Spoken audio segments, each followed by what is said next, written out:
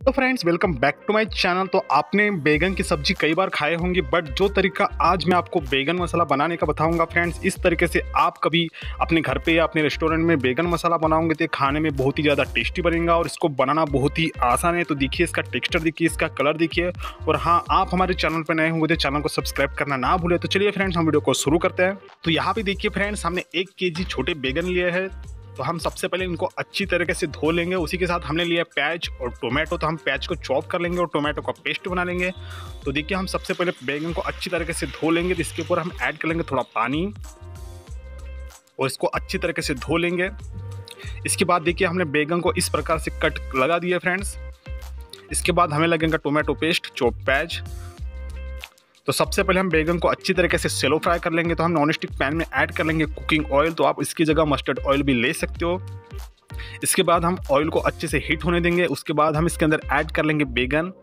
तो बैगन को आपको पाँच से छः मिनट तक अच्छी तरीके से सेलो फ्राई करना है। इस, आप इसको डीप फ्राई भी कर सकते हो। देखिए तो इसी प्रकार से आपको इनको अच्छी तरीके से फ्राई कर लेना है, बिल्कुल पचास परसेंट तक अच्छी तरीके से इनको पका लेना है।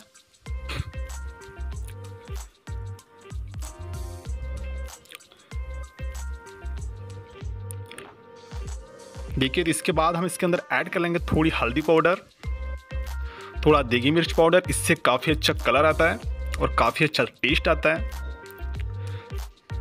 तो आप इसमें नहीं डालना चाहते हो तो आप इसको स्किप भी कर सकते हो। देखिए तो इसी प्रकार से आपको इनको अच्छी तरीके से मिक्स कर लेना है।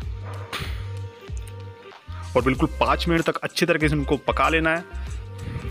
तो देखिए फ्रेंड्स ये हमारा बैगन अच्छी तरीके से पक चुका है तो हम इसको एक प्लेट में निकाल देंगे।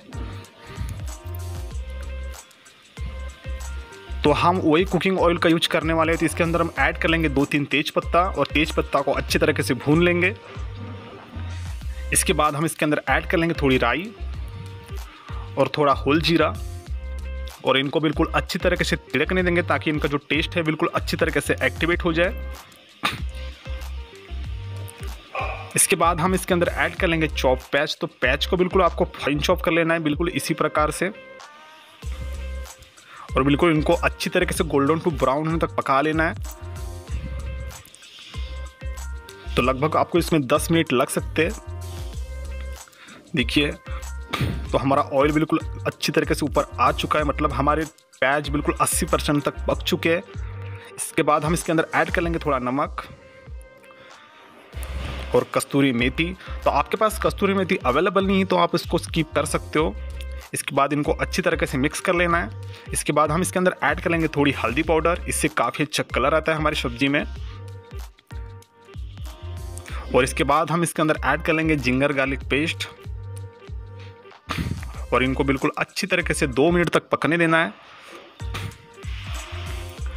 इसके बाद हम इसके अंदर ऐड कर लेंगे देगी मिर्च पाउडर इससे काफ़ी अच्छा कलर आता है। और थोड़ी लाल मिर्च पाउडर तो आप इसको टेस्ट के अकॉर्डिंग ले सकते हो। इसके बाद धनिया पाउडर, थोड़ा जीरा पाउडर, और इनको बिल्कुल अच्छी तरीके से हम मिक्स कर लेंगे। देखिए तो आपको मसालों को नीचे लगने नहीं देना है। इसके बाद हम इसके अंदर ऐड कर लेंगे टोमेटो पेस्ट और टोमेटो पेस्ट को बिल्कुल आपको तीन से चार मिनट तक अच्छी तरीके से पकने देना है। देखिए तो ये हमारे तीन चार मिनट में हमारे टोमेटो अच्छी तरीके से पक चुके हैं। इसके बाद हम इसके अंदर ऐड कर लेंगे थोड़ा पानी। तो आप अपने पानी को अपने बैगन के क्वांटिटी के हिसाब से ले सकते हो। इसके बाद हम इसके अंदर ऐड कर लेंगे थोड़ा नमक और हम इसमें बैगन को ऐड कर लेंगे। और बिल्कुल इसको अच्छी तरीके से मिक्स करके, अच्छी तरीके से पकने देंगे। तो आपको ग्रेवी को बिल्कुल ठीक ही रखना है। देखिए, बिल्कुल इसी प्रकार से आपको इनको अच्छी तरीके से पका लेना है। तो आपके पास फ्रेश कटा धनिया है तो आप इसके ऊपर डाल सकते हो, इससे काफ़ी अच्छा फ्लेवर आता है। बिल्कुल इनको पाँच मिनट तक अच्छी तरीके से पका लेना है। तो ये देखिए, ये हमारा बैगन मसाला बिल्कुल रेडी हो चुका है, ढाबा स्टाइल तो इस, ये सब्ज़ी बिल्कुल मटन और चिकन को अच्छी तरीके से फेल कर देंगे फ्रेंड्स बिल्कुल इसी प्रकार से आपको बना लेना है। तो आपको हमारा वीडियो अच्छा लगा होगा तो हमारे वीडियो को लाइक करें शेयर करें और थैंक्स फॉर वॉचिंग तो मिलते हैं हमारे अगली रेसिपी में।